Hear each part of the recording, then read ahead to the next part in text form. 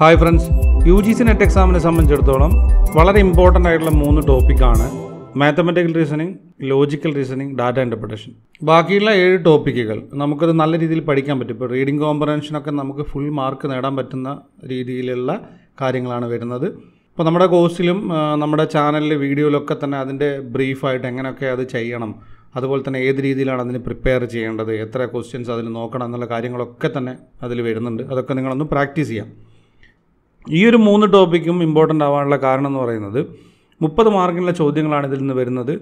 മറ്റുള്ള ടോപ്പിക്കുകൾ അപേക്ഷിച്ചിട്ട് നമുക്ക് കൃത്യമായിട്ട് ഇതിനെ അറിഞ്ഞിരുന്നു കഴിഞ്ഞാൽ മുഴുവൻ മാർക്ക് നമുക്ക് സ്കോർ ചെയ്യാൻ പറ്റുന്ന ടോപ്പിക്കുകളിൽ ഈ മൂന്ന് ടോപ്പിക്ക് മാത്രമേ ഉള്ളൂ. ബാക്കിയുള്ളതിലൊക്കെ നമുക്ക് ചെറിയ ചെറിയ തെറ്റുകൾ വരാൻ സാധ്യതയുണ്ട്. എന്നാൽ എന്നാൽ ഈ മൂന്ന് ടോപ്പിക്കിലും നമുക്ക് തെറ്റ് വരാൻ സാധ്യതയില്ല. അതിന് നമ്മൾ കൃത്യമായിട്ട് പ്രാക്ടീസ് ചെയ്യണം. അപ്പോൾ നമ്മൾ ഇതിൽ ലോജിക്കൽ റീസണിങ്ങിൽ ഏറ്റവും കൂടുതൽ ചോദ്യങ്ങൾ വരുന്ന ഇന്ത്യൻ ലോജിക്കിൽ നിന്നാണെന്ന് നമ്മൾ പറഞ്ഞു. അതിൽ അവസാനത്തെ ക്ലാസ്സാണിത്. ഇന്ത്യൻ ലോജിക്കിന്റെ എല്ലാ കാര്യങ്ങളും ചോദ്യം വരുന്ന രീതിയിലുള്ള എല്ലാ ക്ലാസ്സുകളും നമ്മൾ അപ്ലോഡ് ചെയ്ത് കഴിഞ്ഞു. അപ്പോൾ ഇന്നത്തെ വീഡിയോയിൽ നമുക്ക് രണ്ട് കാര്യങ്ങളാണ് മനസ്സിലാക്കാനുള്ളത്. നമ്മൾ പറഞ്ഞു ആറ് പ്രമാണസാണ് പ്രധാനമായും നമുക്ക് ചോദ്യങ്ങൾ വരുന്ന ഭാഗങ്ങൾ.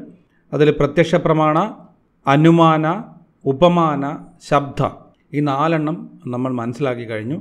വളരെ കൃത്യമായി തന്നെ നമ്മൾ മനസ്സിലാക്കി ഉദാഹരണ സഹിതം മനസ്സിലാക്കി ഓരോന്നിന്റെയും മറ്റുള്ളതിൽ നിന്നും വ്യത്യസ്തമാകുന്ന എങ്ങനെയാണെന്നുള്ളത് നിങ്ങളത് ബ്രീഫായിട്ട് നോട്ട് ചെയ്ത് വെക്കുക. ഇതെല്ലാം കൂടെ നോക്കുമ്പോൾ നമുക്കിതെല്ലാം ഒന്നുപോലെ തോന്നാമെങ്കിലും പറഞ്ഞിരിക്കുന്ന കാര്യങ്ങളിലുള്ള വ്യത്യസ്തത നിങ്ങൾ നോട്ട് ചെയ്ത് വെക്കേണ്ടതാണ്. എങ്കിൽ മാത്രമാണ് നമുക്ക് കൃത്യമായിട്ട് ഉത്തരം കണ്ടെത്താൻ കഴിയുകയുള്ളൂ. ലോജിക് അതായത് വാലിഡ് നോളജിലേക്ക് എത്താനുള്ള മാർഗങ്ങളിൽ അഞ്ചാമതായിട്ട് പറയുന്നത് അർത്ഥപതിയാണ്. നമുക്കുണ്ടാകുന്ന ഒരു അറിവ് അല്ലെങ്കിൽ നമുക്കൊരു അറിവ് ലഭിക്കുകയാണ്. ആ അറിവിനോട് ഒരിക്കലും യോജിക്കാത്തൊരു കാര്യം. അല്ലെങ്കിൽ യോജിക്കാത്ത പുതിയൊരറിവ് നമ്മൾ ഉണ്ടാക്കിയെടുക്കുക. ഒരു ഉദാഹരണം നമുക്ക് നോക്കാം. നമ്മൾ യു ജി സി നെറ്റ് എക്സാമിന് അപേക്ഷിക്കുകയാണ്. അപ്പോൾ ഒരു സുപ്രഭാതത്തിൽ ഒരാൾക്ക് U G C NET exam കിട്ടുകയാണ്. ഇപ്പോൾ കൂടെ പഠിച്ചവർക്കൊന്നും തന്നെ അല്ലെങ്കിൽ കൂടെ ഉള്ളവർക്ക് അല്ലെങ്കിൽ അതേ രീതിയിൽ പഠിക്കുന്നവർക്ക് നെറ്റ് കിട്ടുന്നില്ല. അപ്പോൾ മറ്റുള്ളവർ എന്ത് പറയും? അവൾ അല്ലെങ്കിൽ അവൻ പഠിക്കുന്നത് ഞാൻ കണ്ടിട്ടേ ഇല്ല. അല്ലെങ്കിൽ നെറ്റിനായിട്ട് പ്രിപ്പയർ ചെയ്യുന്നത് കണ്ടിട്ടേ ഇല്ല. എങ്കിലും നെറ്റ് കിട്ടിയിട്ടുണ്ട്. അവൾക്ക് എന്തോ ഒരു ഭാഗ്യം കൊണ്ട് ലക്കിന് നെറ്റ് കിട്ടിയതാണെന്ന് പറയും. അപ്പോൾ ഇവിടെ നമുക്കുള്ള അറിവ് എന്ന് പറയുന്നത് നമ്മൾ കാണുന്ന സമയത്ത് ആ ഒരു സ്റ്റുഡന്റ് അല്ലെങ്കിൽ ആ ഒരു കുട്ടി നെറ്റ് പ്രിപ്പയർ ചെയ്യുന്നില്ല. എന്ന് കരുതി പഠിക്കുന്നില്ല എന്ന അർത്ഥമില്ല. എന്നിട്ട് നമ്മൾ പുതിയൊരു അറിവ് ഉണ്ടാക്കിയെടുക്കുന്നത് ഈ ഒരു അറിവുമായിട്ട് ഒരു ബന്ധവുമില്ല. അത് ലക്കിന് കിട്ടിയതായിരിക്കും എന്ന് പറയാണ്. ഇതിൽ നിന്നും ഒരു ചോദ്യം ഏകദേശം രണ്ടായിരത്തി ഇരുപതിലും പത്തൊമ്പതിലും ചോദിച്ചിട്ടുണ്ട്. ചോദ്യത്തിൽ വരുന്ന കാര്യം പറയാം. ദേവദത്ത ആളൊരു തടിയനാണ്. ദേവദത്ത പകൽ സമയങ്ങളിൽ ഭക്ഷണം കഴിക്കാറില്ല. അപ്പോൾ നമ്മൾ എത്തുന്ന കൺക്ലൂഷൻ എന്താണ്? നമ്മൾ എത്തുന്ന പുതിയ അറിവ് എന്താണ്? ദേവദത്ത രാത്രി കാലങ്ങളിൽ നല്ലോണം ഭക്ഷണം കഴിക്കാറുണ്ട്. ഇത്തരത്തിലെത്തുന്ന കൺക്ലൂഷൻ നമുക്കുണ്ടാകുന്ന അറിവിൽ നിന്നും യാതൊരു രീതിയിലും അതിനോട് പൊരുത്തപ്പെടാത്ത രീതിയിലുള്ള നിഗമനങ്ങളിലേക്ക് അല്ലെങ്കിൽ പുതിയൊരു അറിവിലേക്ക് നമ്മൾ എത്തിച്ചേരുന്നതിനെയാണ് അഷ്ടപതി എന്ന് പറയുന്നത്. നമ്മൾ രണ്ട് ഉദാഹരണങ്ങൾ തന്നുകൊണ്ട് ആ ഒരു കാര്യം നിങ്ങൾക്ക് മനസ്സിലാവുന്ന രീതിയിൽ പറഞ്ഞിട്ടുണ്ട്.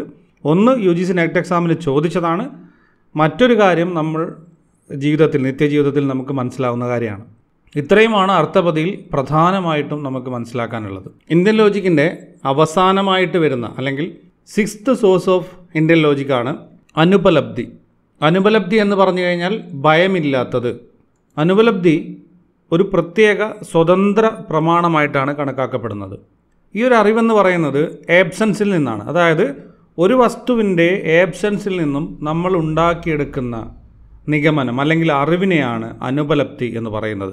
അതായത് ഒന്നിന്റെ അഭാവത്തിൽ നിന്ന് നമ്മളൊരു പുതിയ അറിവുണ്ടാക്കിയെടുക്കുക. അതായത് ഇപ്പോൾ ക്ലാസ് മുറിയിൽ അധ്യാപകനില്ല അതൊരു അറിവാണ്. എന്നാൽ അതൊരു ഇല്ലാത്തൊരു കാര്യമാണ്. അപ്പോൾ ഇതാണ് ഒരു വസ്തുവിന്റെ അല്ലെങ്കിൽ ഒന്നിന്റെ അഭാവത്തിൽ നിന്നും മറ്റൊരു അറിവ് നമ്മൾ ഉണ്ടാക്കിയെടുക്കുക എന്ന് പറയുന്നത്. അനുപലബ്ധി എന്ന് പറയുമ്പം non perception non cognitive non existence ഇത് മൂന്നും ഓർത്ത് വെക്കുക. കാരണം ഇതിൽ നിന്നൊക്കെ പുതിയ അറിവ് നമ്മൾ എടുക്കുന്നതിനെയാണ് അനുപലപ്തി അല്ലെങ്കിൽ അഭാവ എന്ന് പറയുന്നത്. അനുപലപ്തി അല്ലെങ്കിൽ അഭാവ എന്ന് പറയുന്നത്. അപ്പോൾ ഇത്രയും കാര്യങ്ങളാണ് പ്രധാനമായും നമുക്ക് ചോദ്യങ്ങൾ വരുന്ന ഭാഗങ്ങൾ. ഈ കാര്യങ്ങൾ വളരെ ലളിതമായിട്ടും വളരെ ഈസി ആയിട്ടും നമ്മളൊരു ഷോർട്ട് നോട്ടായിട്ടൊക്കെ നമ്മൾ ഓർത്ത് വെച്ച് കഴിഞ്ഞാൽ തന്നെ ഇന്ത്യൻ ലോജിക്കിൽ നിന്നും നമുക്കൊരു ജെ ആർ എഫ് എയിം ചെയ്യാനുള്ള മാർക്കൊക്കെ സ്കോർ ചെയ്യാൻ സാധിക്കും. ഇത്രയും കാര്യങ്ങൾ വളരെ കൃത്യമായിട്ട് നമ്മൾ ഓർത്തു വെക്കുക. ഓരോ വർഷവും നമ്മൾ പരീക്ഷയ്ക്ക് ചോദിക്കുന്നത് വളരെ വ്യത്യസ്തമായ രീതിയിലുള്ള ചോദ്യങ്ങളാണ്. അപ്പോൾ രണ്ടായിരത്തി പത്തൊമ്പതിൽ ചോദിച്ച ഒരു ചോദ്യം പോലും രണ്ടായിരത്തി ഇരുപതിൽ ചോദിച്ചിട്ടില്ല. അപ്പോൾ ഇത്രയും ടഫായിട്ടുള്ള ഏരിയയിൽ നിന്നും നമുക്ക് കൺഫ്യൂഷൻ ഉണ്ടാകുന്ന രീതിയിലുള്ള ചോദ്യങ്ങളാണ് വരുന്നത്. പ്രധാനമായും കണ്ടുവരുന്ന ചോദ്യങ്ങൾ ഇപ്പം നമ്മൾ പരിശോധിച്ച ഒന്ന് രണ്ട് ചോദ്യങ്ങളുണ്ടല്ലോ അതുപോലെയുള്ള ചോദ്യങ്ങൾ. അതിന് പുറമെ ഈ മാച്ച് ദ ഫോളോയിങ് ക്വസ്റ്റ്യൻസ് ഉണ്ടാവും. അതുപോലെ ഏതൊക്കെ സ്കൂൾ ഏതൊക്കെ പ്രമാണസാണ് അംഗീകരിച്ചിരിക്കുന്നത് നിർബന്ധമായിട്ട് നിങ്ങളത് കൃത്യമായി ബൈഹാർട്ട് ചെയ്യേണ്ടതാണ്. കാരണം അതിൽ നിന്നും ചോദ്യങ്ങൾ ഉണ്ടാവാറുണ്ട്. കൂടുതൽ ചോദ്യങ്ങൾ ഈ ഭാഗത്തു നിന്ന് വന്നിരിക്കുന്നത് നമുക്ക് എടുത്തു രണ്ടായിരത്തി പതിനെട്ടിന് ശേഷം രണ്ടായിരത്തി ഇരുപത്തിരണ്ട് വരെയുള്ള ചോദ്യങ്ങൾ എടുത്തു നോക്കിക്കഴിഞ്ഞാൽ നമുക്ക് വളരെ വ്യക്തമായിട്ട് മനസ്സിലാകുന്നത് ഏതൊക്കെ പ്രമാണാസ് ഏതൊക്കെ സ്കൂളുകൾ അംഗീകരിച്ചിട്ടുണ്ട് എന്നുള്ളത് ചോദിക്കുന്നുണ്ട്. അത് വ്യത്യസ്തമായ രീതിയിലായിരിക്കും ചോദിക്കുന്നത്. നമുക്ക് ഒരുപാട് ചോദ്യങ്ങളുണ്ട്. ഇപ്പോൾ പ്രത്യക്ഷ പ്രമാണം അംഗീകരിച്ചിരിക്കുന്ന സ്കൂളുകൾ ഏതൊക്കെയാണ്? അത് എല്ലാ സ്കൂളുകളും അംഗീകരിച്ചിട്ടുണ്ട്. അത് നമുക്കറിയാം. അത്തരത്തിലുള്ള ചോദ്യങ്ങൾ പിന്നെ നമ്മൾ നേരത്തെ പറഞ്ഞ പോലെ നെഗറ്റീവ് സെൻസിൽ വരുന്ന കാര്യങ്ങൾ വേർബൽ ടെസ്റ്റ് മോണിങ്ങിൽ നിന്ന് വരുന്ന ചോദ്യങ്ങൾ ഇതിലോ ഇതിലൊക്കെ തന്നെ ഉദാഹരണ സഹിതം നമ്മളോട് ചോദിച്ചിട്ടാണ് ഇതിൽ നിന്നൊക്കെ ചോദ്യങ്ങൾ വരാറുള്ളത്.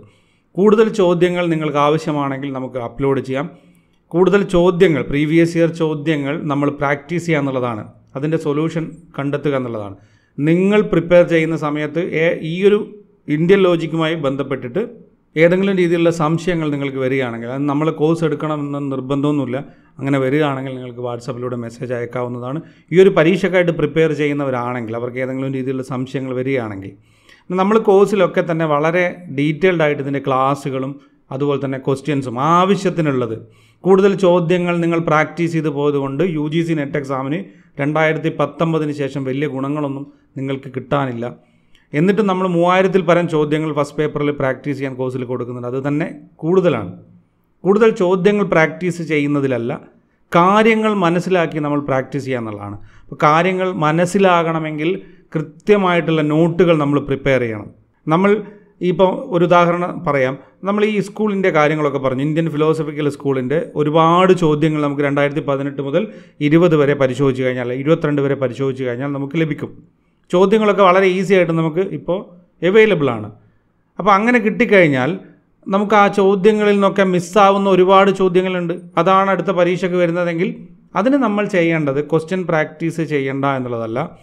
ക്വസ്റ്റ്യൻ പ്രാക്ടീസ് ചെയ്യുന്ന സമയത്ത് നിങ്ങൾ ദയവ് ചെയ്ത് യൂണിറ്റ് വൈസ് ആയിട്ടുള്ള സ്റ്റഡി കംപ്ലീറ്റ് ചെയ്തതിന് ശേഷം മാത്രം പ്രാക്ടീസ് ചെയ്യാം.